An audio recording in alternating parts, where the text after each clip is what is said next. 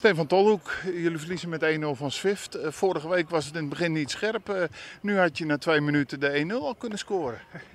Ja, en niet alleen na twee minuten. Voor mij hebben we de eerste helft uh, bal te paal gehad.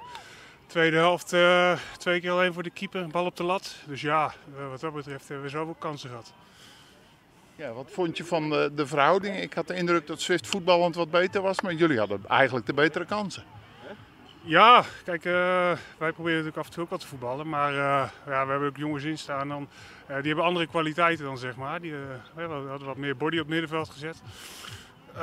dus ja, dat is misschien wel een consequentie. We wisten ook wel op voorhand hè, dat Swift die speelt al met twee of drie jaar met dezelfde kern. En die hebben zich wel doorontwikkeld. Dus hun samenwerking was wel beter dan bij ons. de rode kaart is eigenlijk doorslaggevend, denk ik. Hè? Vond je hem terecht? Uh, ja, die tweede zeg ik wel, als ik hier aan de buitenkant, dat het inderdaad dat hij me vasthield. Dus wel gele kaart, die eerste, ja. Ik weet niet, voor mij was het niet zo'n onsportieve wedstrijd. We hebben ons allemaal uh, netjes gedragen, dus wel jammer. Ben je met me eens dat dat toch wel de doorslag heeft gegeven?